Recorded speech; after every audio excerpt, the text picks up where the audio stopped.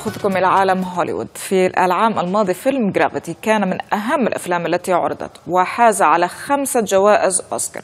هذا العام جاء فيلم آخر من الفضاء هو Interstellar والذي استحوذ على اهتمام كبير ليرشح أيضا لجوائز الأوسكار.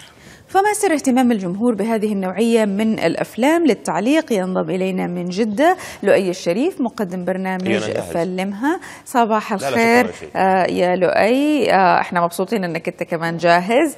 آه بخليني أبتدي معاك ونسألك عن أفلام الخيال العلمي.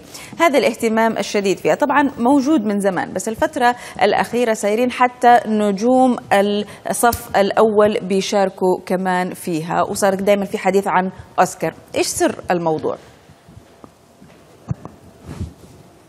آه صباح الخير ساره وصباح الخير مهيرة. بس تصحيح مع... تصحيح معلومة المهيرة ترى آه آه Gravity أخذ سبعة اوسكارز مو آه اترشح لتسعة وأخذ سبعة. ف بالنسبة لأفلام الخيال العلمي أنا أشوف إنه إنه آه هي فكرتها إنه الواحد يبغى يجرب أشياء يعني ما هي موجودة في يعني دائما إيش أقول الخيال العلمي هو خيال الأمس واقع اليوم. كثير من أشياء الخيال العلمي بيكون فيها تجريب لأشياء ممكن تكون واقعية.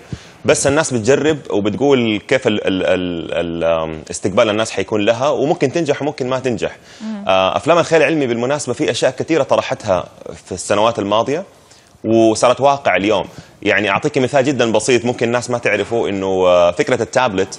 انه يكون في تابلت ويكون في واحد بيستخدم tablet و swipe ويحرك يده وكذا كانت موجودة في مسلسل Star Trek آه تتكلم عن السبعينات أو الثمانينات. آه ودحين صار الموضوع واقع. ف ففكرة الخيال العلمي آه يعني يعني هو هو مجرد طرح لأشياء نعم. الواحد ممكن يكون متحمس يعرف عنها وما هو قادر يعرف عنها في في الواقع طيب. زي فيلم Gravity صور لنا الكرة الارضيه من برا كيف يكون شكلها و وكيف ال ال أيوة. يعني عشان كده طبعا فاز بجوائز كلها cinematography وكلها visual طيب لؤي أنت شايف هذا الاهتمام هل هو بسبب مثلا عدم يمكن الإقبال على أفلام أخرى زي الأفلام الأكشن فتوجهوا لأفلام الفضاء وخاصة أنه Gravity يمكن النجاح الغير متوقع اللي حققه يمكن أنت كمان كما ذكرت فوزه بسبع جوائز أوسكار خلى هوليوود يعني تنطلق بقوة أكثر في هذا العالم.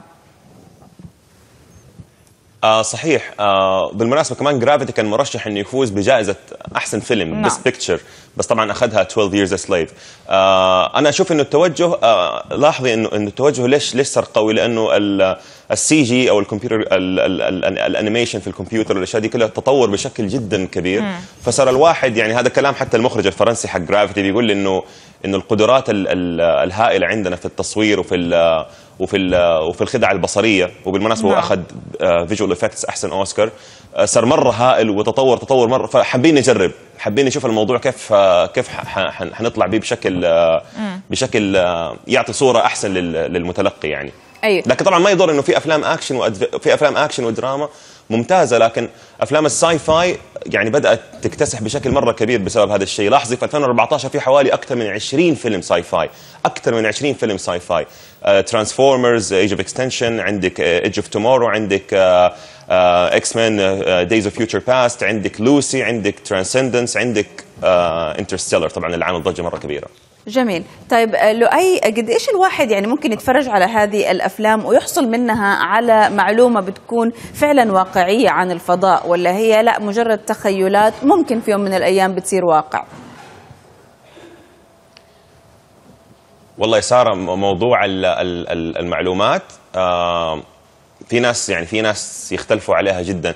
آه، أفتكر آه، اظنكم سمعتوا عن فيلم ارمجدن طبعا اللي في سنة 98 حق بروس ويلس. فيلم ارمجدن ده لما ظهر يعني اتشنت عليه حملات آه، من مجلات علمية مرة كبيرة إنه كل المعلومات اللي فيه غلط والمعلومات حقت الأكسجين اللي في الفضاء والأشياء دي كلها. ماني عارف ال details ال- التقنية. لكن شنوا عليه حملات إنه المعلومات العلمية فيه جدا جدا خاطئة. لكن لكن هل مثلا نقدر نستفيد منه معلومات عن الفضاء وعن آه، أشياء ممكن تكون عامة بشكل عام؟ آه، ممكن. أنا أنا فيلم Gravity أستفدت منه آه، كذا معلومة مثلا يعني ممكن ما تكون دقيقة 100% لكن لا بالعكس ممكن يكون يعني ممكن أفلام الخيال العلمي تكون محتواها ثري. للمتلقي العام لكن لو جيت عاد للناس اللي يحبوا التخصصات العلمية والأشياء الدقيقة وكذا ممكن يطلعوا لك ألف غلطة وغلطة. وعلى فكرة مو مو شرط يا سارة إنه أنا كمخرج أسوي فيلم sci-fi إني أجيب أشياء علمية بصراحة. أنا أبغى أجرب خيالي فين رايح يعني فهمتي كيف؟ فمو لازم أتقيد بذا الشرط. بس نعم. مفيدة طبعا. لأي مدى تكلفه التكلفة العالية لهذه الأفلام يعني أفلام الفضاء تحديدا اللي نتحدث عنها اليوم آه، يمكن قد تؤثر على كمية الإنتاج. يعني نشوف يمكن فيلم واحد في السنة آه، آه، يعني هل. تؤثر خاصة على موضوع الربحية؟ لأنه في النهاية يعني هوليوود حابين يربحوا. سؤال جدا ممتاز. شوفي أفلام الخيال العلمي ال average حقها أقل أقل فيلم أقل فيلم يعني تقريبا بيكلف من 100 مليون وانت طالع. Gravity 100 مليون. Transformers Age of Extinction 210 مليون. طبعا التكاليف دي كلها معلنة على ال IMDb ما هو سر.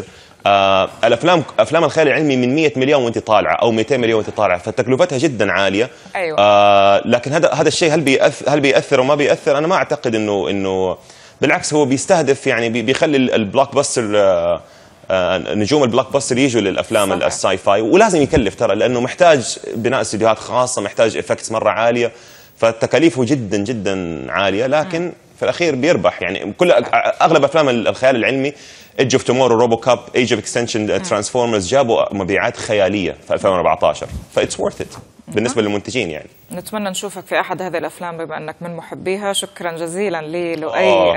الشريف. إن شاء الله. مقدم برنامج فيلم على هذا الاستعراض السريع لغزو هوليوود لعالم الفضاء.